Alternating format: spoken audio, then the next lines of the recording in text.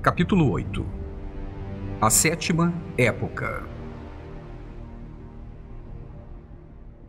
A sétima e última época, no modelo atual da Terra e do homem, será finalmente manifestada após a guerra de todos contra todos. O segundo ai, Apocalipse 11, que inaugurará a curta era da Igreja de Laodiceia e dos mornos, que segundo o Apocalipse de João 3:16 serão vomitados da boca do Pai, isto é, expulsos da terra.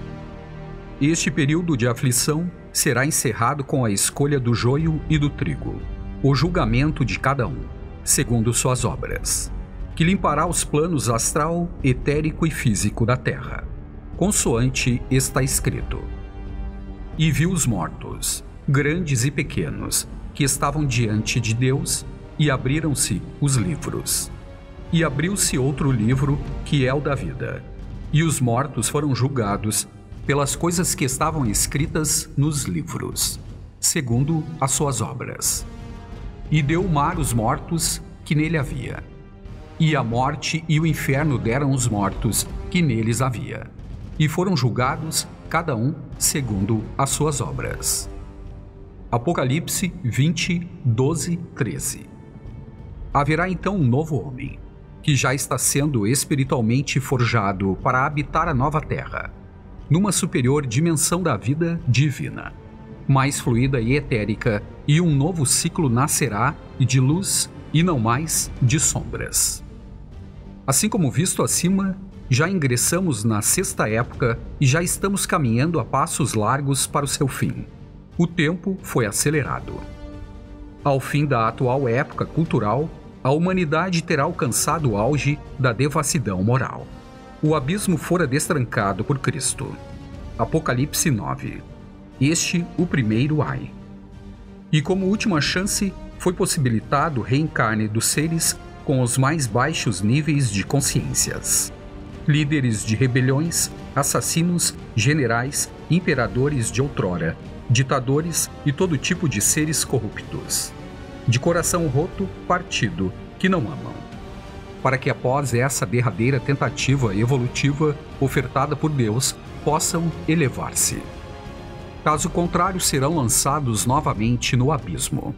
Apocalipse 20 As almas embrutecidas e animalizadas, cada qual exteriorizando em seu corpo astral características do animal que seus instintos mais ignóbeis representam dormirão em suas próprias consciências em ambientes criados por suas mentes na face escura da lua, por mil anos, juntamente com sua besta. Apocalipse 17, 8.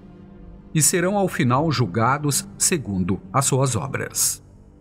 Apocalipse 20, 12, 13. Porque aquele que não foi achado escrito no livro da vida foi lançado no lago de fogo e a morte e o inferno foram lançados no lago de fogo. Esta é a segunda morte. Apocalipse 20, 24 e 15. Quem tem ouvidos, ouça o que o Espírito diz às igrejas. O que vencer não receberá o dano da segunda morte. Apocalipse 2, 11. Bem-aventurado e santo aquele que tem parte na primeira ressurreição. Sobre estes não tem poder a segunda morte. Mas serão sacerdotes de Deus e de Cristo e reinarão com ele mil anos. Apocalipse 26 A segunda morte é espiritual. Quem renascer em espírito, tiver parte na primeira ressurreição, abrindo seu coração para Cristo entrar, iniciando-se no caminho da luz, não terá parte na segunda morte, pois viverá em espírito e verdade. Após o julgamento final de cada um, segundo as suas obras, inaugurar-se-á um ciclo de luz. Este momento da prevalência da luz, Sol, sobre as sombras, Lua, na Terra, é retratada no Apocalipse de João pela mulher vestida de sol, tendo a lua debaixo de seus pés e uma coroa de doze estrelas na sua cabeça a simbolizar as constelações dos signos do zodíaco, que por sua vez representam os doze apóstolos de Cristo. que o acompanham no trabalho de espalhar a boa nova, o Evangelho.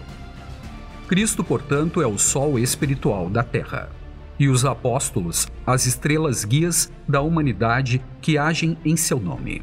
Apocalipse 12, 1. A misteriosa mulher vestida de sol, descrita por João, seria a imperatriz do tarô, que representa a carta de número 3, símbolo da geração da vida e do amor materno, que permanecerá protegida das arrebatadas das trevas, até os fins dos tempos marcados. É o princípio feminino da divindade, expresso na natureza, a mãe de todos os seres a materialização da sabedoria, da verdade e do poder. O terceiro aspecto de Deus, o Espírito Santo. Conforme João nos assinala, a imperatriz, nossa mãe universal, está grávida, com ânsia de dar à luz a nova humanidade. Apocalipse 12, 2 Oração à Mãe Universal nós te saudamos, ó Mãe Universal. Plena é tua graça. A unidade está em ti. Sagrada energia feminina, gestas em ti a nova humanidade. Ó Suprema Mãe Universal, intercede por nós, seres da superfície da Terra, para que possamos consagrar-nos como dignos filhos de Deus, na fé, na luz, na paz, na proteção, na cura na unidade, no amor, no perdão, na reconciliação, na caridade, na humildade, na transmutação e na fraternidade. Agora e no momento da nossa total e definitiva entrega ao Pai Criador. Amém.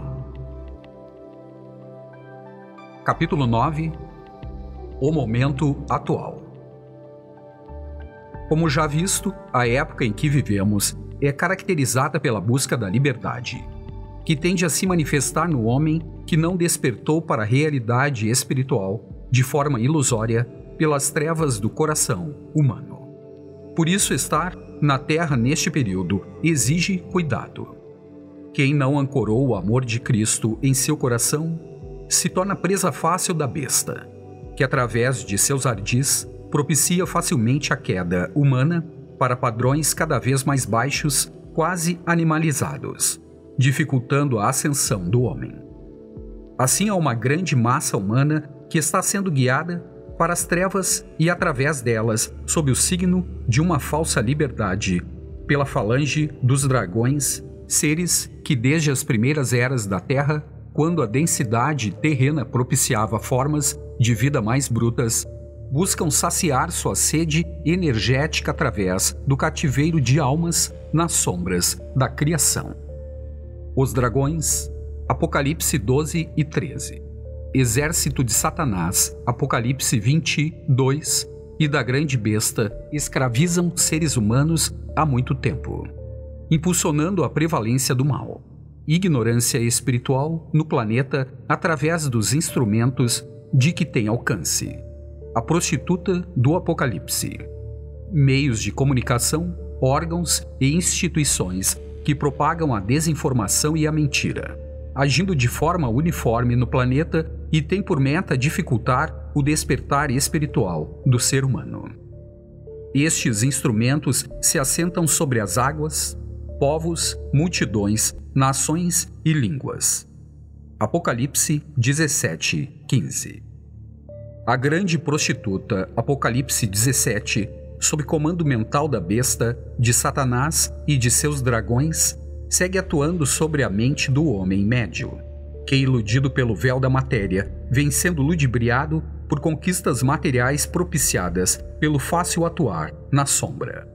Por isso ele não busca por fim ao estado de escravidão que não é por ele conscientemente sentido justamente por faltar-lhe discernimento espiritual. Amor, Cristo. Assim é que há milênios está sendo forjada uma consciência coletiva para o mal na Terra, a qual atualmente ampliou-se significativamente através dos meios de comunicação, pela crescente globalização e a subordinação do homem à máquina. presenciamos odiernamente a massificação do pensamento, a decadência do saber e a queda dos valores morais. O homem, de forma global, perdeu sua identidade divina e comporta-se como mais um componente da massa, que tem sede e desejo pelas mesmas coisas materiais: dinheiro, poder, prazeres, vícios diversos, culto ao corpo e da sensualidade o vazio tomou conta do homem, que não se importa mais com deveres familiares, desvia-se das responsabilidades e não pensa em seu destino. A tecnologia avançou e com isso propiciou-se um estado de alienação mental. Não há mais a busca pelo conhecimento, daquilo que importa ao homem para sua evolução moral e espiritual, criando-se uma legião de seres que reproduzem os mesmos comportamentos ilusórios. Voltamos à época do pão e do circo, sendo este o estado mental coletivo mantido pela grande prostituta do Apocalipse. Apocalipse 17. Todos esses acontecimentos sentidos atualmente, que aparentam ter sido dado à besta o comando da terra, foram permitidos por Deus a fim de que a limpeza seja, ao final, concluída de forma eficaz e completa, sendo possível ao exército de Cristo expulsar definitivamente do planeta todos os que destoam das leis divinas, do amor e da sabedoria. Os dez chifres que viste na besta são os que odiarão a prostituta, e a colocarão desolada e nua, e comerão a sua carne, e a queimarão no fogo porque Deus tem posto em seus corações que cumpram o seu intento e tenham uma mesma ideia e que deem à besta o seu reino, até que se cumpram as palavras de Deus. Apocalipse 17, 16 e 17. Em que pese a grande massa média da atual população planetária estar alheia ao processo de transição em curso do homem e do planeta, existe uma parcela significativa da humanidade que poderá herdar a nova Terra. Mas para isso, cabe ao homem manter-se consciente de sua natureza divina e buscar a conexão com o Cristo. A iniciação, conquistando internamente o estado de amor, sabedoria. Capítulo 10 O fim da Grande Babilônia e a mulher que viste é a grande cidade que reina sobre os reis da terra. Apocalipse 17, 18. A cidade anunciada no Apocalipse, Apocalipse 17, 5 e 18. Mãe das prostituições e abominações que reinou e ainda reina sobre os governantes da terra. É a grande Babilônia, que se opõe a Jerusalém celestial plasmada no abismo terreno pela intenção mental focada no mar dos seres trevosos, sob comando da besta. Seu líder, que preside as mentes de governantes espalhados por todo o planeta, incentivando a malícia, a corrupção e a imoralidade dentro das instituições e poderes, que acabam atraindo, salvo raras exceções, homens de má índole e que não carregam o Cristo em seus corações. Porém, a limpeza na terra já começou e continuará até o soar da última trombeta. Apocalipse 11, 15, 16, 17 e 1 Coríntios 15, 52. Os dragões estão sendo paulatinamente expulsos do plano astral da Terra, sob a liderança de São Miguel Arcanjo, representante do raio azul da vontade divina que atua em nome do Espírito Santo sob o comando de Cristo e guiará o homem para a nova era que se aproxima. Apocalipse 12, 7, 8, 9, 10, 11 e 17.